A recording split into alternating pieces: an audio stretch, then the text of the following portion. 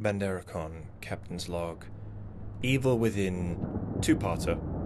Part one, Evil Within one. Yeah, that sounded complicated. So, uh, the first Evil Within game came out in, uh, I think, 2014. Uh, and released on, uh, as I remember, it came out on PC, PlayStation 3, and Xbox 360. Uh, and at the time was widely hailed as like a Resi 4 clone because if we're being honest with each other for a minute, Resi 4 was incredible and many, many games since then have taken their lead off of it. However, in my personal opinion, Evil Within was its own kind of special awesomeness. Now, you are speaking to somebody who has played uh, Resident Evil 4 when it was originally the GameCube release and played it to absolute extinction. Uh, played the Mercenaries mode, five stars a lot, got the hand cannon, got the Chicago typewriter, did the works. Uh, I'm actually kind of holding myself before I try and play the remake because I know, even though by and large it's regarded as the superior piece in that they improved over the stuff that was kind of a bit lackluster in the first game, I still don't know that I can handle it. This aside. The Evil Within Game 1, uh, it starts off a little bit rocky. It has a little bit of a um, kind of. You get a walkthrough. You're a Detective Castellanos from Krimson PD. And yes, the, unfortunately, the dialogue reads like terrible Japanese schlock, like most of them do. Anyway, you have a brief chase around the block with Chainsaw Man while injured, and you do a bit of the hide seek. And then the game goes into, in my opinion, a really tightly designed linear sequence where you explore, I think it's something like 14, 15 chapters of gameplay. And it's nothing short of fucking marvelous, in my goddamn opinion. Um, the design is beautiful, the atmosphere is fantastic. Um, even though effectively you kind of wander your way from A to B, headshotting your way through the opposition, the game still is difficult enough to present a challenge and can often hit that point where you decide, shit, I have to run away and get a backup idea. And sometimes the enemy will just be like, corner you, and you're fucked. Especially in the sort of late to mid game where you have certain enemies like. Um, I'm thinking the uh, main bad person whose name I can't remember Sosumi, he has a little bit of an XP who uh, XP character who will just instant death you, but you can get the drop on him and one shot him with I think a sufficiently high powered weapon, crossbow, rifle, etc.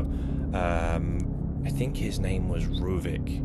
Yeah, I think I'm pr- pretty sure that's it. So you you basically get to headshot this Ruvik XB who kind of teleports behind you not really. He's like, uh, nothing personal, kid, and instant deaths you. And the death animations in this game are kind of a Resident Evil standard of being fantastically gory, and it's wonderful, and I love it. And, um, yeah. It, the game gives you a couple of opportunities, uh, or should I say, it gives you alternatives. You can sneak your way around and uh, backstab enemies to save ammo, which is reasonably speaking, given how scarce ammo is on the whole, is the best way to do it, in my opinion. Or you can go guns a blazing, though I have no idea how, barring some kind of pure melee build. And the game does have a melee option, it's just really, really ineffective. It would be like a, a first time playthrough of one of the classic Resi games with a knife only build. Uh, you know, you're kind of just chipping away enemies. It's it's entirely doable, and you can even upgrade it, but it's still not good. The game also has this, and it doesn't make it into the second game, and much to its detriment, is interesting mechanic where, for some reason, sparking a match on the enemies uh, when they're on their down state catches them ablaze and you can use it really cleverly like you can knock piles of enemies into each other using explosives or melee or other effects and then set them on fire which insta kills them, uh, no backseas, and you can save an absolute shit ton of ammo doing that. Um, overall, even though it's a pretty basic linear experience, uh, it's fantastic. And the bosses, uh, barring one or two exceptions, I don't remember the wolf, uh, giant wolf boss being that amazing, but the bosses are clever and they really make you work. And guaranteed, the first time around, they will kill you several times until you figure them out. Um, there's one boss which primarily relies on like a really I, I, I would hate to say uh, unfair, but it is, but it isn't. It's a camouflage mechanic. They blend into the background really well, and it's cool. Um, and then there's one boss which is just some kind of walking spider tank, which after you piss it off enough will just hunt for you and insta kill you. So you've you've got a small window where you just need to unload onto it as much as you can. It becomes a little bit of a damage race almost. Um, on the whole, the the gameplay is it's I think it's a tightly packaged experience that needs to be gone through in one playthrough, like one good sit down start to finish, and I can't ask much more of a game. The graphics are on point, and I mean it, it came out in 2014, so you need to give it a little bit of a break. But I feel that everything was kind of really nice. The textures were great. The art style is special in that way where the kind of like one or two people have had their kind of hand on the um, artistic style that they were going through from start to finish. The main, I think, in fact, the most impactful thing is the main enemies in the way that they kind of have this aesthetic of having almost a um, Hellraiser esque aesthetic to them where they've got like medical equipment and barbed wire and jagged shards of metal shoved through various parts of their head and extremities uh, while some of them call for your death and other others of them beg for mercy or, or, or cry for forgiveness. And that's that's grand. It's fantastic.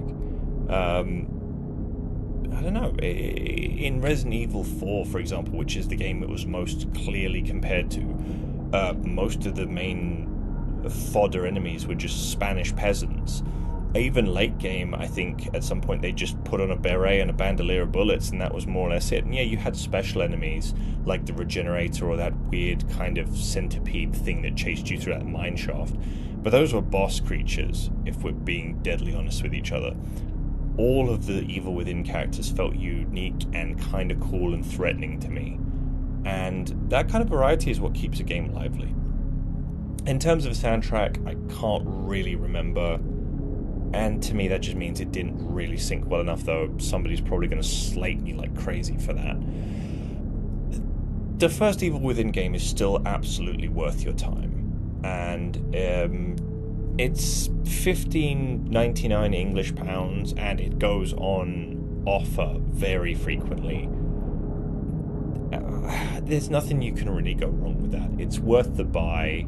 I think I spent probably around 15 something hours on it, which means a pound an hour, which is damn good value. Um, I can't say much regarding the DLCs, and I wouldn't buy the absolute bullshit season pass slash agony crossbow DLC. That was just something made because they were trying to get money. So go play it. Today's call to action is put this shit on your wish list and wait for a sale, and then if it's at a price point you think is available for your budget, to buy it. Anyway, peace out.